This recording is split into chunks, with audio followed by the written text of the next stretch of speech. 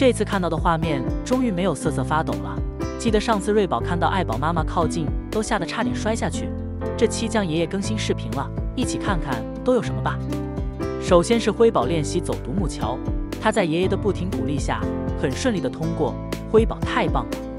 由于福宝即将隔离，工人们正努力的为福宝制造一个房间，相信福宝住进来后喜欢这里吧。瑞宝、辉宝还是很皮，一个想越狱出去，一个在玩水，还被爷爷训骂。江爷爷在拖地的时候，瑞宝又在捣蛋，偶尔还站起来看看玻璃外面是什么。另一边的辉宝在干嘛呢？该不会是被宋侍卫半夜偷出来玩了吧？整天就知道睡睡睡，不过这睡姿还是很有个性的，不知道能不耐吸一波粉呢？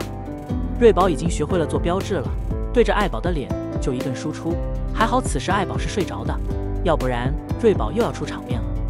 还记得福宝吧？就是因为对着爱宝蹭，结果爱宝让福宝成为熊手。